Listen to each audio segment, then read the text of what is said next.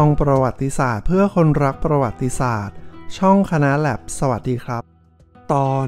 สมเด็จพระศรีสวรินทิราบรมราชเทวี พระพันวษาอายิกาเจ้า ขัตติยาราชนารี แห่งพระบรมราชจักรีวงศ์ สมเด็จพระศรีสวรินทิราบรมราชเทวี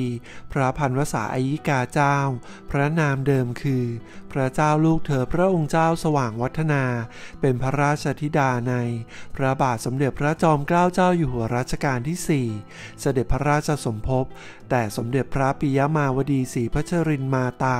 เจ้าจอมมารดาเปี่ยม เป็นพระเจ้าลูกเธอชั้นเล็ก ลำดับที่ 60 ในจำนวนทั้งหมด 82 พระองค์ โดยได้รับราชการสนองพระเดชพระคุณ เป็นพระภรรยาเจ้า ในพระบาทสมเด็จพระจุลจอมเกล้าเจ้าอยู่หัว รัชกาลที่ 5 ซึ่งสมเด็จพระศรีสวรินทิราบรมราชเทวี พระพันวษาอายิกาเจ้า หรือสมเด็จพระนางเจ้าสว่างวัฒนานั้น พระองค์เป็นพระราชชนนีใน สมเด็จพระบรมโอรสาธิราช เจ้าฝามหาวชิรุณหิต สยามกุฎราชกุมาร ซึ่งนับว่าเป็นสยามกุฎราชกุมารพระองค์แรกของสยาม และเมื่อสมเด็จพระนางเจ้าสว่างวัฒนาทรงเว้นว่างจากพระราชกรณียกิจแล้ว พระองค์ทรงใช้ชีวิตอย่างสามัญโดยเฉพาะในการเลี้ยงดูพระราชโอรสและพระราชธิดา สมเด็จพระบรมโอรสาธิราชเจ้าฝามหาวชิรุณหิต สยามกุฎราชกุมาร ได้ทรงบันทึกว่าพระองค์ทรงเล่นกับพระราชชนก ซึ่งหมายถึงพระบาทสมเด็จพระจุลจอมเกล้าเจ้าอยู่หัวรัชกาลที่ 5 และพระราชชนนี ซึ่งในขณะนั้น สมเด็จพระบรมโอรสาธิราชเจ้าฟ้ามหาวชิรุณหิต มีพระชนษาได้ 8 ปี โดยมีใจความตอนหนึ่งว่า แล้วเราเล่นงูกินหางกับทูลกระหม่อม ทรงเป็นแม่งู สมเด็จแม่เป็นพ่องู เราออกสนุกมาก และยังเคยบันทึกเกี่ยวกับวิธีการลงโทษ ของสมเด็จพระนางเจ้าสว่างวัฒนา พระราชชนนีของพระองค์เอาไว้ตอนหนึ่งว่า น้องชายโตหมายถึงพระบาทสมเด็จพระมงกุฎเกล้าเจ้าอยู่หัวรัชกาลที่ 6 ได้แย่งดอกไม้ เราร้องไห้ แล้วเรากลับออกไปอีก พี่อาจทำน้ำเข้าตังหกรถผ้าเราเปียก เราร้องไห้ กลับมาข้างใน สมเด็จแม่ทรงหักมือเราว่าเราร้องไห้บ่อยๆ สมเด็จพระศรีสวรินทิราบรมราชเทวี พระพันวษาอายิกาเจ้า ทรงมีความคล่องแคล่วและแข็งแรง ดังปรากฏในเหตุการณ์หนึ่ง ที่สมเด็จพระบรมโอรสาธิราช ทรงมีพระชนษาได้10ปี ซึ่งสมเด็จพระบรมโอรสาธิราชเจ้าฟ้ามหาวชิรุณหิต ทรงพายเรือเล่นอยู่ที่บางปะอิน แล้วทรงพลัดตกน้ำลงไป สมเด็จพระศรีสวรินทิราบรมราชเทวี พระพันวษาอายิกาเจ้า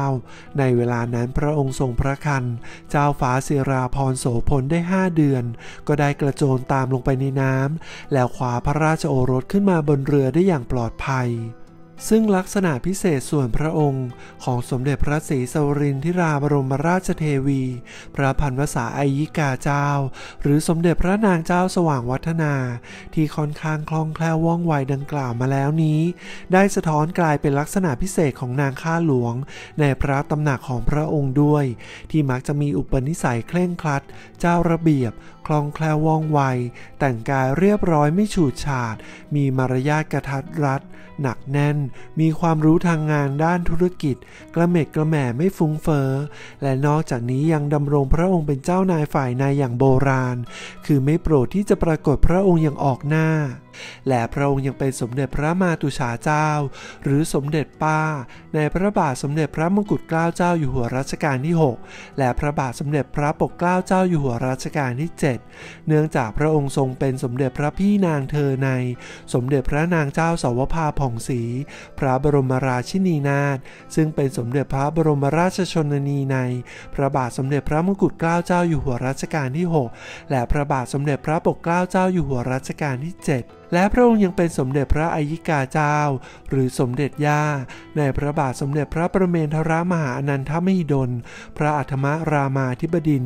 และพระบาทสมเด็จพระบรมชนกาธิเบศรมหาภูมิพลอดุลยเดชมหาราช บรมนาถบพิตรรัชกาลที่ 9 เนื่องด้วยสมเด็จพระศรีสวรินทิราบรมราชเทวี พระพันวษาอายิกาเจ้า หรือสมเด็จพระนางเจ้าสว่างวัฒนา ทรงเป็นพระราชมารดา ในสมเด็จพระมหิตลาธิเบศรอดุลยเดชวิกรม พระบรมราชชนก ซึ่งเป็นพระราชบิดาในรัชกาลที่ 8 และรัชกาลที่ 9 และสมเด็จพระศรีสวรินทิราบรมราชเทวี พระพันวษาอายิกาเจ้า หรือสมเด็จพระนางเจ้าสว่างวัฒนาอย่างทรงเป็นสมเด็จพระปายิกาเจ้า หรือสมเด็จย่าทวด ในพระบาทสมเด็จพระวชิรเกล้าเจ้าอยู่หัว รัชกาลที่ 10 อีกด้วย ซึ่งในรัชสมัยของพระบาทสมเด็จพระมงกุฎเกล้าเจ้าอยู่หัวรัชกาลที่ 6 พระองค์ได้รับการเฉลิมพระนามาพิไทยขึ้นเป็น สมเด็จพระมาตุฉาเจ้าสว่างวัฒนา พระบรมราชเทวี โดยข้าราชสำนักในเวลานั้นออกพระนามพระองค์ว่า สมเด็จพระมาตุฉาเจ้า เป็นคู่กันกับ สมเด็จพระบรมราชชนนีพันปีหลวงจนต่อมาในรัชสมัยพระบาทสมเด็จพระปกเกล้าเจ้าอยู่หัวรัชกาลที่ 7 ทรงมีพระดำริว่า ทรงนับถือสมเด็จพระมาตุฉาเจ้า ดังเช่น สมเด็จพระบรมราชชนนีของพระองค์ สมควรเฉลิมพระเกียรติยศให้ยิ่งใหญ่ เพื่อให้เป็นที่ทรงปฏิบัติบูชาต่อไป พระองค์จึงทรงพระกรุณาโปรดเกล้าโปรดกระหม่อม สถาปนาสมเด็จพระนางเจ้าสว่างวัฒนาขึ้นเป็น สมเด็จพระพันวษา มีพระนามตามจารึกในพระสุพรรณบัตรว่าสมเด็จพระศรีสวรินทิราบรมราชเทวี พระพันวสามาตุชาเจ้าข้าราชสำนักจึงออกพระนามโดยทั่วไปว่า สมเด็จพระพันวสามาตุชาเจ้าสืบต่อมา เมื่อพระวรวงศ์เธอพระองค์เจ้าอนันทมหิดลพระราชนัดดา ได้เสด็จขึ้นครองราชสมบัติเป็น สมเด็จพระเจ้าอยู่หัวอนันทมหิดล ทรงเฉลิมพระนาม สมเด็จพระศรีสวรินทิราบรมราชเทวีนั้นขึ้นเป็น สมเด็จพระศรีสวรินทิราบรมราชเทวี พระพันวษาอายิกาเจ้า ตามพระราชสัมพันธ์ที่สมเด็จทรงมีกับพระบาทสมเด็จพระเจ้าอยู่หัวรัชกาลที่ 8 คือเป็นพระอายิกา หรือย่า และทรงดำรงพระอิสริยยศนี้จนตลอดพระชนมายุของพระองค์ สมเด็จพระศรีสวรินทิราบรมราชเทวี พระพันวษาอายิกาเจ้า มีพระชนชีพยาวนานถึงหกรัชกาล และพระองค์ทรงพระประชวรหลังจากตกจากพระที่นั่งสูงถึงหกฟุต กระแทกลงกับพื้นห้องทำให้พระอาทิตที่คอต้นพระเพลาหัก และต้องรักษานานถึงสามเดือนห้าปีต่อมาก็ทรงพระประชวรด้วยมีอาการอักเสบที่พระปับผาสะ จนเมื่อวันที่ 17 ธันวาคมปีพุทธศักราช 2498 พระบาทสมเด็จพระประมินมหาภูมิพลอดุลยเดช และสมเด็จพระนางเจ้าสิริกิติ์พระบรมราชินีนาถ ได้เสด็จพระราชดำเนินมายังวังสะประทุม เมื่อเวลาประมาณสองยาม เนื่องจากคณะแพทย์ที่ถวายการรักษาสมเด็จพระพันวษาอายิกาเจ้า ได้กราบบังคมทูลว่า พระอาการของพระองค์นั้นหนักสุดที่จะแก้ไขได้แล้ว ซึ่งภายในห้องพระบรรทมของสมเด็จพระพันวษาอายิกาเจ้านั้น พระบาทสมเด็จพระเจ้าอยู่หัวรัชกาลที่ 9 ทรงยืนอยู่ที่ปลายพระบาท พร้อมด้วยคณะแพทย์และพยาบาลที่เฝ้ารอดูพระอาการ ส่วนหน้าห้องพระบรรทม สมเด็จพระนางเจ้าสิริกิติ์พระบรมราชินีนาถประทับอยู่ และนอกจากนั้นก็ยังมีเสด็จพระองค์วาปี หม่อมเจ้าหลานๆและข้าหลวงหมอบเฝ้าเต็มไปหมด เนื่องจากเป็นที่ทราบกันโดยทั่วกันแล้วว่า พระอาการน่าเป็นห่วงมาตั้งแต่เวลาห้าทุ่ม จึงมาคอยส่งเสด็จกันพร้อมหน้าในวาระสุดท้าย และหลังจากตีสองชาววังที่เฝ้าอยู่ในที่นั้นทั้งปวง ต่างก็ได้ยินเสียงสวดมนต์เบาๆติดต่อกัน โดยหาตัวผู้สวดไม่ได้ เมื่อเวลาผ่านไปประมาณ 16 นาที สมเด็จพระพันวษาอายิกาเจ้า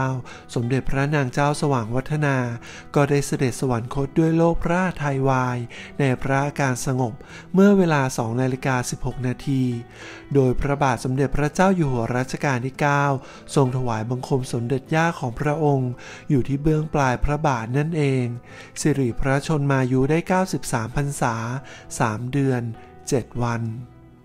ถ้าคุณชอบเรื่องราวต่างๆ ทางประวัติศาสตร์ อย่าลืมกดไลค์แชร์ Subscribe เป็นกำลังใจช่องคณะแลบกดกระดิ่งเตือนไว้จะได้ไม่พลาดในคลิปต่อไป ขอบคุณครับ